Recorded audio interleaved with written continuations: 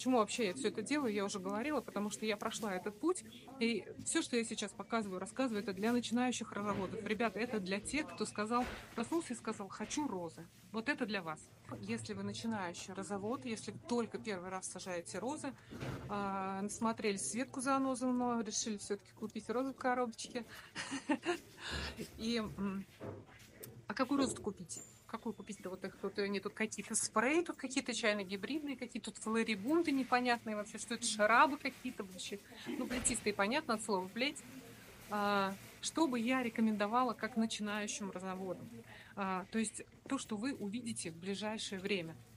А, я бы вам рекомендовала брать розы пока не сложные. А, например, группу чайно-гибридных. То есть чайно-гибридная роза достаточно быстро пойдет в рост.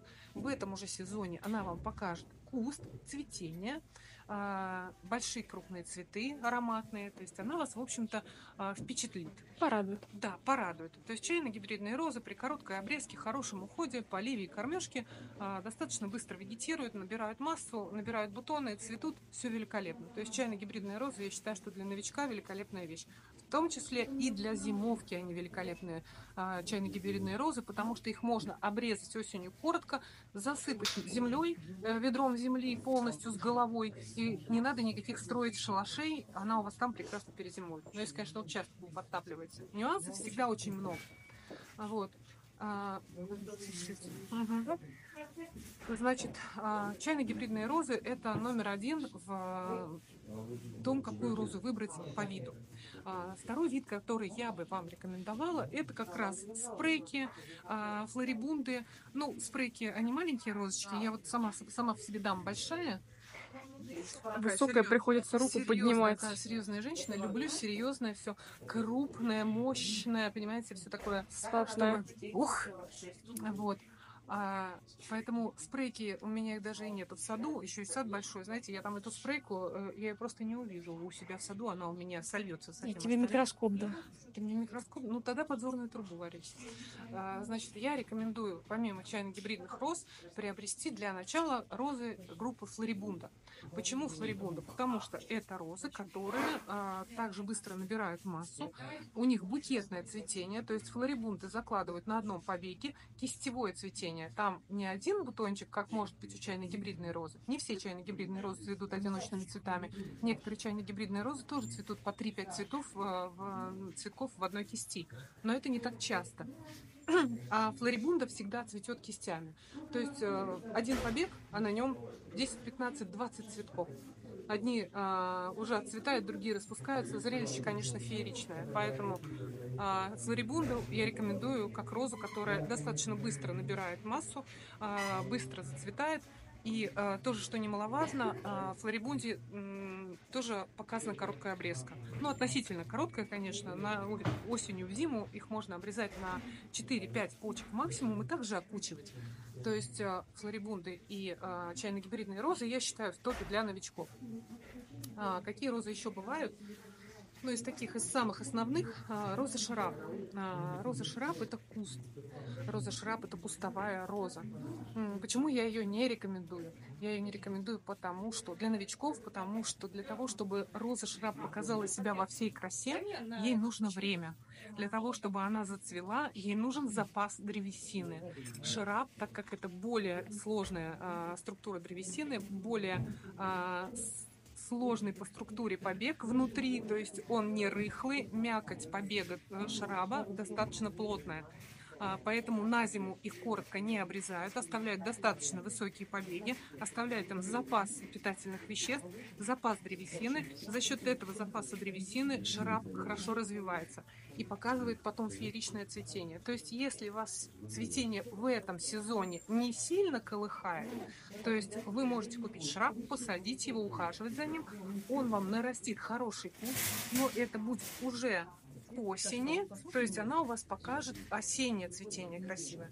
Ну и а, последняя сложная, а, достаточно сложная, я считаю, группа, а, но она не сложная на самом деле, вы всему научитесь, конечно же, а, это роза плетистая. А, то есть само название плетистая это плети. Когда плетистая роза вот в таком состоянии продается, да, у нее побеги 10-15 сантиметров, вы же понимаете, что в этом году для того, чтобы она зацвела, ей нужно выгнать плеть. Она плетистая, цветет как на, на, э, пле- на плетях она цветет. Понимаете логику? Вот, понимаете, логику, вы понимаете, плетистая цветет на плетях. Итак, а, плетистой розе нужно время. То есть в этом году, в этом сезоне она может у вас также либо не зацвести, либо зацвести к концу сезона на концах побегов. И эти побеги будут не 2, не 2,5 метра. Учтите, плетистую розу в этом году вы не уложите на арку. Это невозможно. Плетистой розе нужно время для того, чтобы она выгнала плети. А для того, чтобы она могла выгнать плети, ей нужна хорошая, мощная корневая система. Поэтому в этом году, в этом сезоне плетистая роза будет наращивать корневую систему для того, чтобы ей выгнать хорошие, жирные плети, но, скорее всего, уже в следующем сезоне. Так что, если у вас есть терпелка, терпелка есть? Эй, тук-тук, терпелка есть? Если терпелка есть, покупайте плетистую розу, сажайте, но имейте в виду, что плетистая роза покажет себя во всей красе, ну, на третий год, скорее всего. На второй год она у вас уже зацветет, а на третий год она выгонит те плети, о которых вы мечтаете. Итак, четыре а, группы роз, которые я рекомендую и о которых я вам, в принципе, рассказала. То есть это а, розы для новичков, я считаю, которые легкие в уходе, легкие в зимовке. А, это чайно-гибридные и флорибунды. Розы, которые сложнее, ну не то чтобы они сложнее в уходе, они такие же в уходе, но они вам не дадут вот этого в первый же сезон этой э, взрывоцветения. Это шрабы и плетистые розы, и с ними сложнее зимовкой. То есть там уже вы коротко не обрежете. Если вы обрежете в зиму коротко шраб или плетистую розу, на следующий год все сначала, друзья. Посмотрите, какой выбор мускусов, которые сейчас вообще на расхват. Посмотрите, Пенелопа, Балерина, Бобби Джонс, Бав Бьюти, Моцарт, Салли Холмс, Хевенли Пинк, Джерри Джеггинс. Это а, мускусные гибриды. А, мы с вами о них еще не говорили. Мускусные гибриды, которые а, цветут маленькими цветочками, но у них огромное обливное цветение, то есть цветение шапками. А некоторые не понимают этих роз, считают их простушками, считают их шиповником. На самом деле это целая серия, это тоже целый вид мускусные розы. А, они имеют свое очарование, и, кстати, такие розы очень хорошо смиксуются с крупноцветковыми чайно-гибридными розами. Это очень красиво. Конечно, мы с вами еще поговорим о том, как миксовать разные сорта роз. Обязательно я об этом сделаю а, ролик. Но вот посмотрите, а, крупноцветковый сорт Виолет Парфюм и Роза Балерина. Посмотрите, как они вместе классно сочетаются. Мелкоцветковая роза подчеркивает вот это вот а, богатство крупноцветковой и крупноцветковой розы. А, поэтому э, имейте в виду, но мускусные розы это тоже розы, которые нельзя резать коротко. Мускусная роза цветет на концах побегов второго и даже третьего порядка. То есть мускусную розу нужно сохранять максимально по максимуму все побеги. Поэтому если для вас а, актуально не укрывать розы, то мускусные гибриды, а, наверное, не для вас. Потому что если вы будете обрезать эту розу коротко, вы будете очень долго ждать, пока она нарастит новые побеги, и когда она заложит бутоны. Это будет очень долго. Вы можете, даже если у вас короткое лето, не дождаться цветения. Вообще, Jubilee Celebration, это же... Кстати, я вам не рассказала. Какой ужас! Я вам не рассказала, друзья, кошмар. Так, мне, похоже, тоже что-то не рассказали. Сейчас я вам как расскажу. Существует еще одна группа роз. Ее, отдельно вывели. Это группа роз Остинок. Это розы селекции Дэвида Остина, либо его э, компании. Э, Остинки – это особый вид роз. Э, как бы сказать, это садовая роза, это кустовая роза. Э, наверное, она все-таки ближе по виду, под, по, к виду э, шрабов, потому что есть такой устоявшееся, так скажем, правило, что Остинка показывает себя на третий-четвертый год жизни. То есть, почему вообще это происходит? Вообще наука о розах, она такая шикарная, она просто бездонная. Вот мы пришли сюда в магазин, и хозяйка магазина меня спрашивает, ну сколько можно о розах рассказать? Ну что можно о них сказать? Да, ребята, это бездонная бочка просто, тут можно рассказывать о них вообще сколько угодно. Так вот, Смотри, что розу не такое? урони. Чему и халусенький? А, что, что такое розы Остина? Розы Остина а, это шрабы, это садовые розы. Почему они себя показывают на третий-четвертый год? Потому что для розы Остина нужна хорошая, мощная корневая система. У роз Остина своеобразная структура побега тоже. То есть для того, чтобы роза Остина смогла выдать хорошие, жизнеспособные, мощные побеги для того, чтобы процвести, ей нужна хорошая корневая. Роза Остина в первый сезон в основном закладывает жир на корневой. То есть она растит жо свою. То, на чем она будет сидеть. Вот. Первый сезон – это наращивание корневой системы. Понятно, что побеги тоже будут, но только не ждите от них какого-то сверхцветения. Да, заложит бутончик, может там 2-3 цветочка, и они еще будут так, как Аленушка с поникшей головой в саду, потому что они не могут еще себя держать, побеги слишком слабые.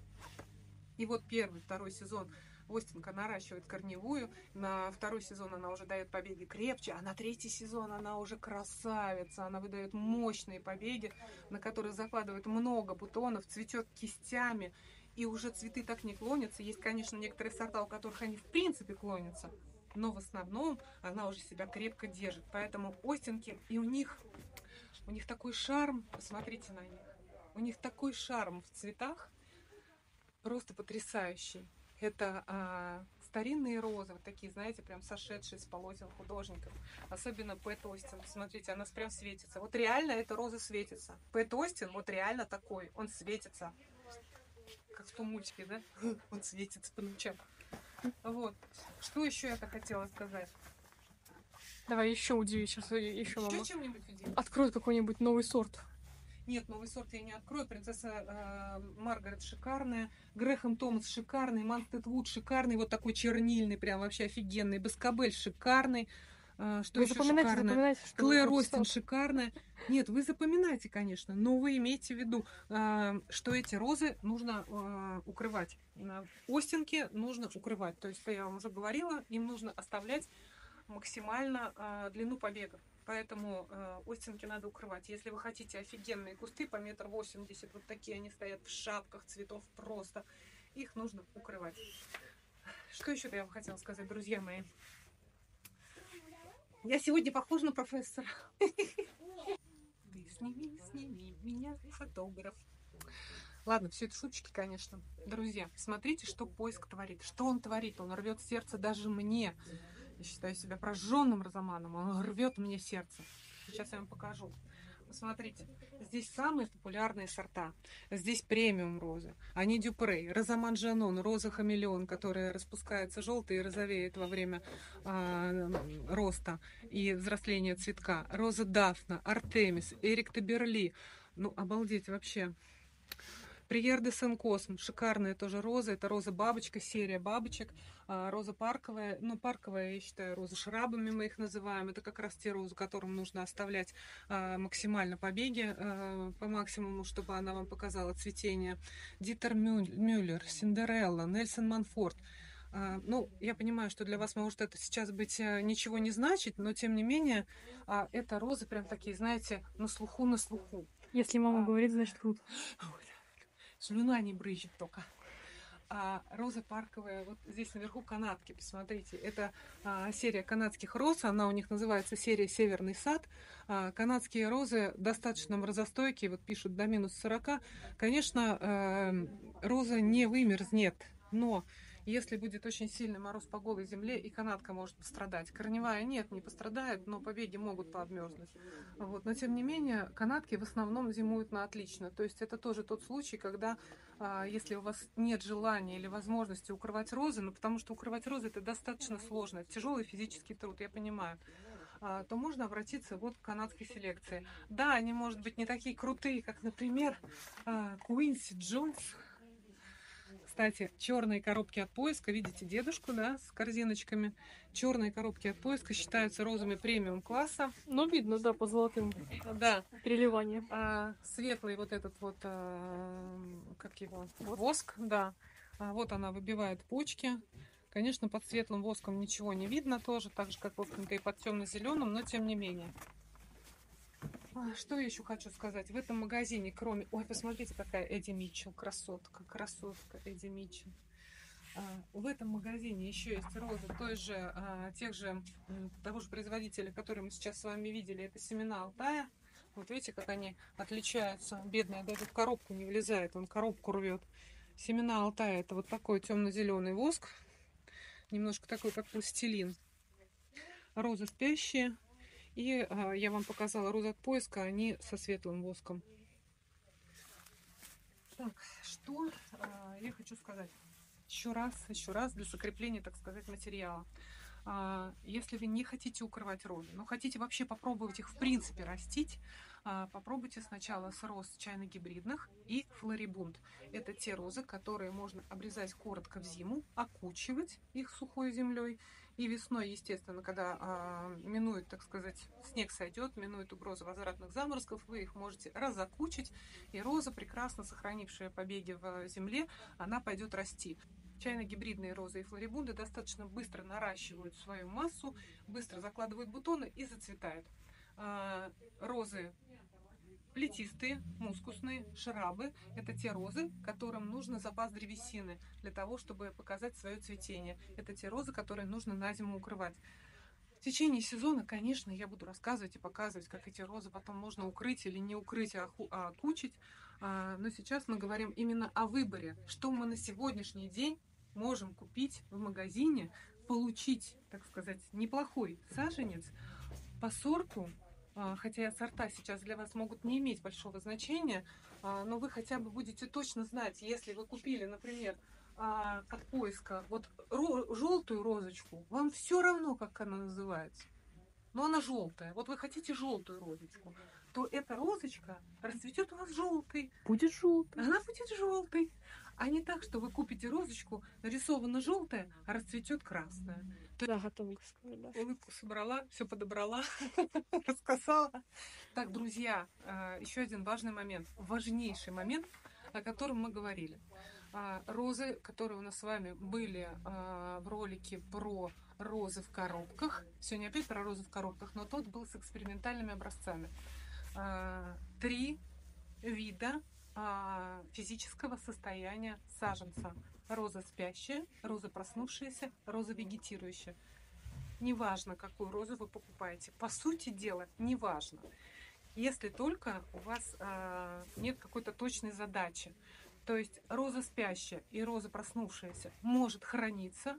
То есть роза спящая, понятно, спит, роза проснувшаяся мы можем усыпить, если мы дадим ей холодный, а, холодное а, место хранения. А, Розу проснувшуюся мы уже не усыпим. Вегетирующую. Угу. Розу вегетирующую не усыпим. То есть вегетирующую розу нужно сажать. Розы спящие и проснувшиеся можно хранить, можно посадить. Я посадила все три. Кстати, я хотела сказать, что я сейчас здесь приобрету вот такую розочку. Представляете, в моем саду более 400 сортов роз, а у меня нету Салли Холмс. А? Нормально вообще? Просто слюни секут. Нормально? Случайно. Вообще, посмотрите, шапка, шапка. Итак, повтор. Закрепим. Закрепим материал. Роза спящая. Роза спящая, у которой вы не видите даже проснувшихся почек. То есть нету таких пимпочек зелененьких. Побеги абсолютно ровные. И нигде нету ни одной почки. Смотрите, какая. Посмотри. Видишь, что делает? Это тебя она хочет. Она любит. говорит, возьми меня, купи меня. Роза спящая, у которой нет ни одной почки. Такую розу мы можем хранить в холодильнике, можем закопать в сугроб. Кто тебя там хочет? Монстет, э. А Кстати, её прям- кстати, у меня ее нет. Да, серьезно. Вот. А, Проверим на бирочке Монстетвуд. Если мы с вами розу храним, ну, например, в холодильнике, да, она все равно иссушается. Если становится вот этот вот корневой ком очень сухой, шприцом наки- напитали водичкой, а, вот, чтобы там все-таки субстрат был влажный. Посмотрели саженец, все вроде бы ничего, никаких особо механических повреждений, все, розочка спящая, купили, снег закопали. Кстати, мне сказали, какой снег, минус 30 на улице, роза замерзнет. Друзья мои, потолще снега нету минус 30, там всегда ноль, всегда ноль. Идеалити, идеалити. Даже в холодильнике розы у вас начнут расти, потому что там плюс 3. Вот. Поэтому, так, спящую розу посмотрели. Розу Теперь ищи проснувшуюся. проснувшиеся и проснувшиеся, проснувшиеся. Ну, будем считать. Вот, вот. Синдерелла. Роза просну... Ой, ты мой хороший. Что-то у тебя уже, потоломался, да? Роза проснувшаяся, вот она, видите? Это он там вот говорит, всем доброе утро. У нее проснулась почка. Но как-то она очень мало проснулась. Сейчас я, подождите, я найду более бодро проснувшуюся. Сейчас. Просто только проснулась, а ты ее Да. уже Давайте, бываешь. приер де Сен-Косм. Да что такое? Смотри-ка. Так, вот, роза приер де Сен-Косм. Вот, роза проснувшаяся. Видите, у нее вышли почки на зеленый конус. Роза решила, что типа пора. Вот типа пора, мы можем ей сказать либо споки-ноки, дорогая, либо а, посадить ее. То есть роза проснувшаяся вышла на зеленый конус. И третий вариант вегетирующая. Ну, тут очень слабо вегетирующая роза, что, в общем хорошо. Видите, она выдвинула уже побеги, она их разбудила, все. Они начали вегетировать, они заложили уже листовую пластину. Солнышку тянутся. Да, солнышко тянутся. Скоро, скоро. Там будут вот такие побеги торчать. Ну, конечно, у тех роз, которые а, не успеют уколоть своего будущего хозяина. Вот, видите? Вот она, вегетирующая. С этими розами я тоже показала вам, что делать. Вот она пробудила верхушечные в основном почки, как всегда. Апикальное доминирование работает э, как положено. Законы природы никто не отменял. А Вот. Вы можете купить любую из этих трех роз. Каждая из них жизнеспособна. Все зависит от того, какие возможности у вас есть. Все зависит от того, что вы хотите с этой розой сейчас сделать. Хотите посадить ее сразу в сад, берите спящую и проснувшуюся и пытайтесь ее уцепить и а, сохранить эти розы до высадки. А, если готовы посадить сейчас в горшок и к маю месяцу уже смотреть на бутончики, пожалуйста, берите проснувшуюся, вегетирующую. Вперед. Я придумала. Что? Спящие это которые еще храпят, проснувшиеся это которые еще говорят, дайте мне еще пять минут, а про а, вегетирующие это которые уже а, сидят, чай, чай пьют и вкусня- Кофе. вкусняшки едят да, с, э, да, из земли. уже пошел процесс. Да, да, да. Совершенно верно. Все, друзья, на этом тут хватит.